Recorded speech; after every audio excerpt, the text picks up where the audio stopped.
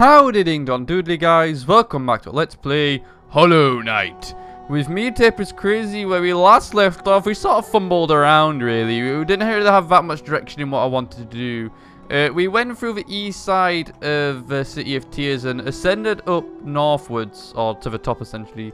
Uh, and came across the resting grounds, which is somewhere I wasn't expecting to be uh, at this point. But it is what it is. Uh, I want to do two things uh, before I move into uh, Crystal Peak, which is on the right. Uh, the first thing is, I recall there being someone that we could get to uh, lower down in Mantis Village, so I'm going to go and do that. Uh, and then I want to go speak to the Charm Storekeep. So I'll come back to you as I get to the bottom of uh, the Mantis Village and go from there. Okay, here we are, and the thing that I'm interested in is this uh, little character here. So if I open up my map to show where I am, as I said, I'm just literally at the bottom of the Mantis village. Uh, right next to that bench there, which I don't need to rest at because uh, I'm essentially coming straight back out of here. Uh, once I've done this, no. I think there is a way uh, we can get up and around there. Uh, it's like a hidden wall or something. There we go. Uh, this hidden wall here. Uh, will lead us up, at least hopefully. God damn, I hate these things. Uh, this would hopefully lead us up to uh, this character up there. There we go. Okay.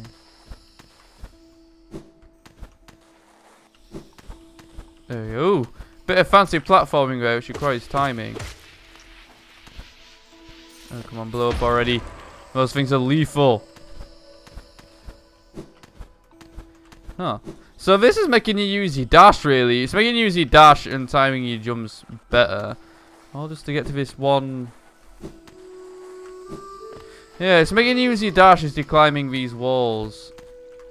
Uh, so you can uh, imagine that this is kind of tough platforming, actually. Oh, we'll get it done. I'm sure we'll get it done. Uh. Oh, god damn it. Ah. God, it's been a while since I've played this game, so... There we go. Okay. One last jump. There we go. Hello.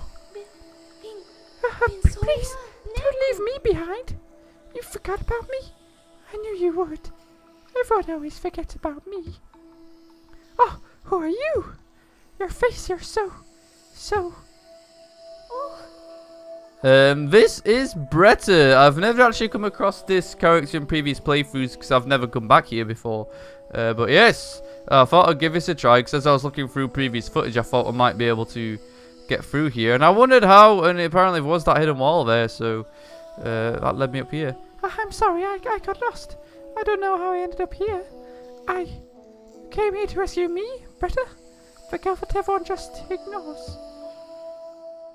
Sorry, when I look at your face, I can hardly... I just can't believe you came all the way down here to rescue me. I didn't think anybody... Sorry, I, I mean, thank you, I mean.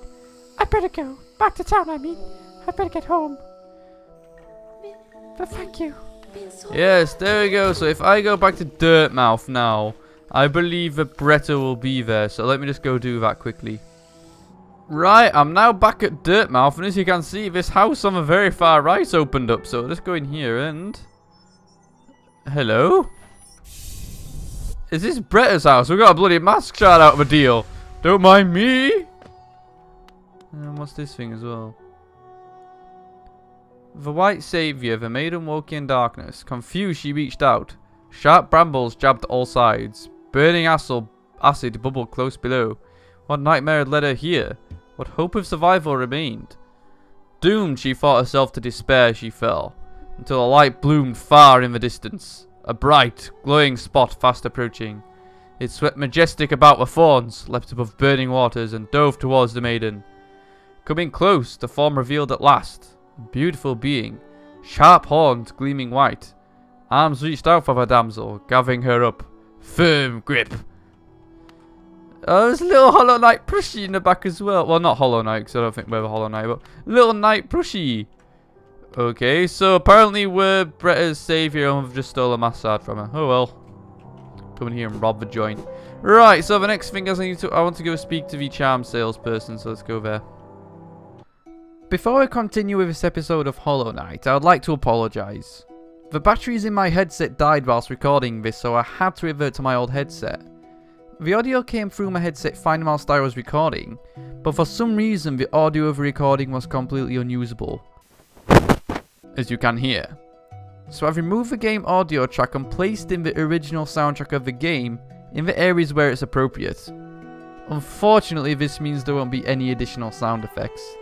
Massive apologies, if Hollow Knight allowed me to copy my saves, I would have re-recorded this episode, but alas, it's not to be. Anyway, I hope you enjoy the rest of the episode. Right, so I'm at the, the um, charm shopkeeper. Uh, and I think the thing that I'm interested in is this thing called the Shaman Stone, which will give my spells uh, a bit more power. So I'll purchase this. I'm not really going to spend it on anything else, uh, for the moment being anyway. Uh, unless I come across some new areas, I might want to save a bit of money for a map of some kind, uh, if we come across Cornifer. Uh, Longnail, not too interested now that I've got the uh, Mantis, not Mantis, Mark of Pride uh, which gives my nail the longest reach it could probably get in the game. Uh, steady body, I'm not too sure. Steady body is one of those things where once you take a, once you hit something, you know how you go back uh, a little bit. Uh, it, it, prevents that happening, but I'd say that thing's more to do with the training in the game rather than actual uh, being practical to use. Uh, because this is something you learn how to do subconsciously. You learn how to essentially deal with the knockback of hitting enemies. Uh, and if that's suddenly taken from you by using that charm, then it essentially means it needs you need to do a bit of subconscious re rewiring. Anyway, let's get on to go to Crystal Peak. So I'll meet you uh, in a few corridors above us. I am back, and if we look on the map, this is where I am. I'm at this tunnel here, uh, in the middle of the Forgotten Crossroads to the right, and we've been here before, but I didn't have a torch or anything here, so uh, I couldn't have really gotten through here uh, before without it being a pain in the ass to get through. So uh, now that I've got the...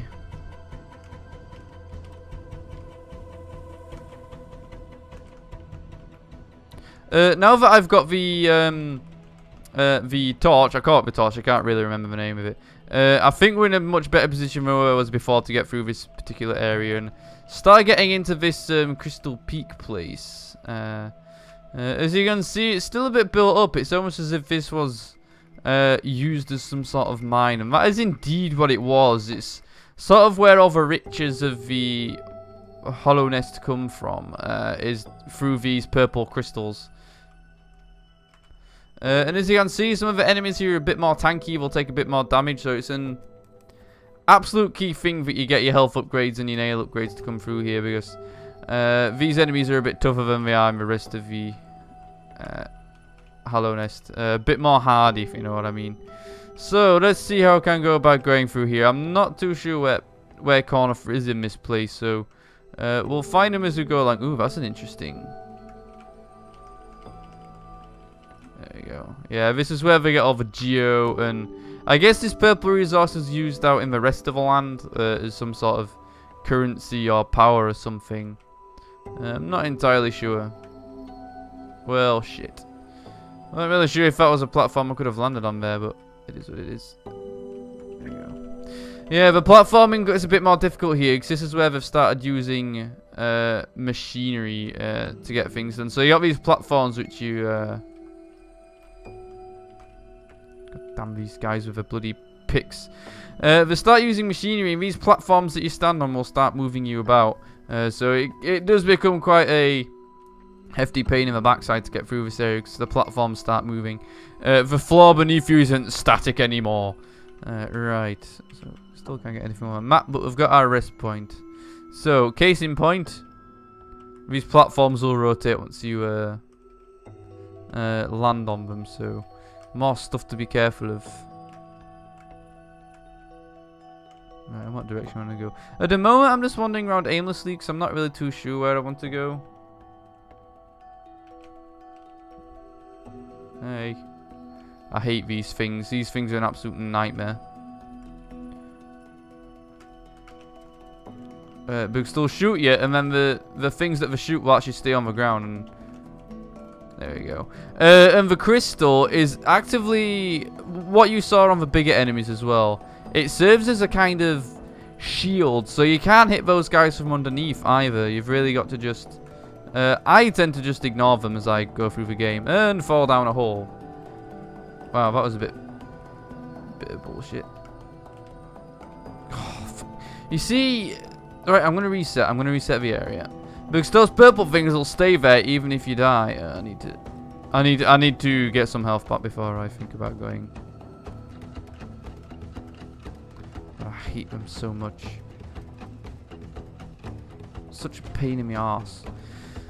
Ah, because like not only do they do range attacks, it's hard to get to them to hit them as well.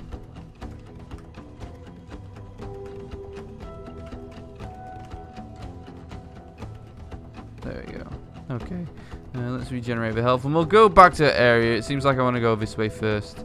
Uh, explore as much as possible because I, I, really want to find Cornifer so I can get a map on here because it's so clutch having a map so you can know where you're going. Especially in this area because it's like a bloody maze. Right, let's go upwards. And yeah, this is cool. You can attach to these things. I didn't mean to press jump. Oh, I need to stop taking this like really nonsensical damage. Because if I keep taking this damage, this is what's going to get me killed in the long run. that dealt with. Oh god, they're a bit quicker these ones. Yes, and we got to a grub. Plenty of grubs here to save actually, isn't there? We've seen two so far. Whereas you think of the rest of the uh, Let's Play, we've really come across not that many at all. Interesting that. Oh god, not these things. Yeah, these things are timed on a cycle where they shoot uh, beams at you. So I just want to time this right if I can. Okay, well that was pretty easy to get through, but it is going to get a bit more challenging as we go out to avoid those things. Oh, I see paper, which means... Cornifer. Oh, I didn't mean to hit him, but there you go. Okay, I'm just trying to focus on not getting hit by these things here. If I could do with regenerating my health. Cornifer, I know you're here somewhere, friend. Here we go. Fantastic. Come to scale the mountain. I've heard tale of a summit way up there. Too far for me, though. I don't not, I'm not really one for heights. There is oil purchases map. I jabbed myself for one of those crystals back there. Awful sharp they are and all over the place. Best watch yourself if you're heading up. Okay, can we get up to that thing yet? I'd assume that's just a Wanderer's Journal or something. It looks like we need uh, another ability to get up there. And indeed another ability to get over there as well. Oh my god, we are quite high actually. Cool. Alright, so let's head upwards. I don't think we can get upwards at the moment though. We'll find out. Uh, I will give it a good go. I think we need to find something first though. There go. Good job we can kill those guys in three. Cool. Cool. There's a bench here. But this guy sat on the bench, and I don't want to deal with this guy right now. This is a fact. This is effectively a boss called the Crystal Guardian, I believe, uh, and he is kind of a pain in the ass to defeat. Uh, at this level, anyway, I think I've got enough help for it. Uh, I've just not got the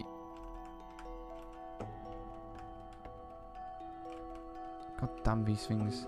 Uh, I think I've got the help for it. I've just not got the abilities to uh, do it without dying before, without dying, uh, without dying essentially, uh, because he's got some pretty. Because that that battle, you'll see once I do come to face him, it's more about dodging more than it is uh, timing attacks or anything like that. Oh, hello, um, Quirrell. Can't remember the view I gave Quirrell. Ah, quite a view, no? I'm not surprised you survived a trek through these shimmering caverns. There's an air of strength about you. I suspect it would be quite intimidating, if not for your small stature. Yeah, ultimate dad bod though with that belly. right, okay. Oh, I wasn't really reading, but... Uh, is it the same thing? At this advantage, I can just make it out.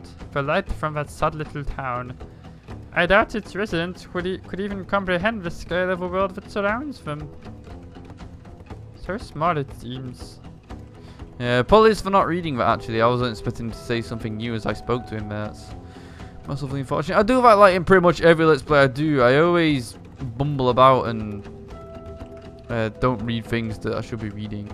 So annoying sometimes, right? Can I actually... No, I don't think I can get up there. I think it's blocking me from doing so. Uh, so let me just head over in this direction and see what there is over here. I want to stick here if I can.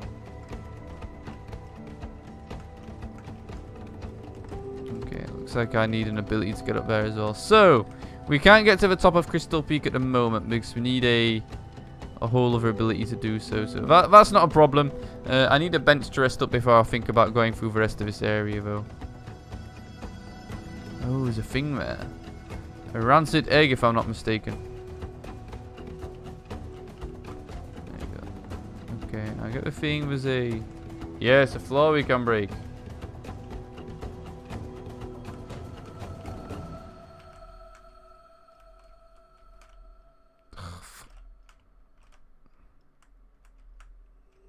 Look at this shit. I mean, leaving them there is just...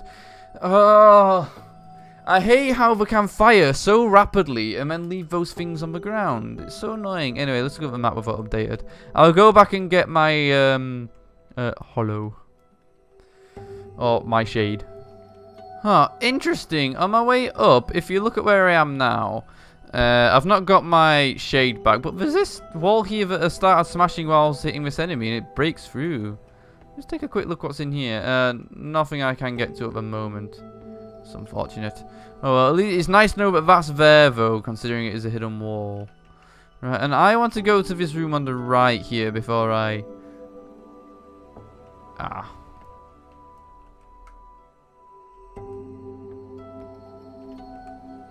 This is where the Dashmaster would actually come in handy. Right, do I want to do this yet without my... I want to go get my shade, actually. Uh, before I even attempt doing this, because... This is where... This is the sort of room where I'm to end up getting killed in. Okay, let's finish this thing off. There you go. Uh, and thank God those things take three to kill instead of... Uh, any more. Can you imagine if I didn't have a nail upgrade? It would be such a pain to kill these guys. Even though it's still such a pain to kill these guys, right? Wait. Am I on the wrong side of this thing for my shade? There you go. Right, where's my shade? Am I on like the wrong side of a wall here? Am I? Where's the damn thing? Oh fuck, I thought I was hidden behind the thing there. There we go. Cool. So long as I can get them, I can take one hit off them. That's about it, really. Is that gonna fill me up? I think that's gonna fill me up as far as I can get, to be honest. Right. So I'm on the wrong side, which means I need to go up and to the left then. Alrighty. Okay, I've come through here. I've gone through the bench where the Crystal Guardian is. I'm just going to open this uh, gate here. And it seems like that this entire area is built on you going as far up as you can and then working your way down to unlock uh, uh, these gates on the way down, right? Where is my... It says it's around here somewhere, but I don't see him. Okay, and now I'm up here. I'm working my way back up, back up this left uh, tunnel here and going to the right and then down. I think the shade is actually centered on the room that is actually in. Uh, and that entire area is one big room there, so I think that's the problem of why he's not there. So, uh, anyway, I, I, came up here. There's a bit of platforming you could have done to get past this guy, and you get a shopkeeper's key out of the deal, and that's kind of important. So, uh, to get to the shopkeeper's key, you would... Oh, come on now. You would come out of the room to the room where the Crystal Guardian's seated. Uh, come out to the left, uh, and then you will have the... Uh, you'll have the uh, wall crawler with the crystals on its back. Uh, climb up, up and down the wall. You've got to get past him, essentially, and then it's up and to the right. Not too difficult to get to compared to the rest of this area, so I'd say that's pretty okay. So let's go get my shade back. Uh, and then hopefully we'll be able to end the episode off, I think. Come here, you bastard. Stop throwing shit at me.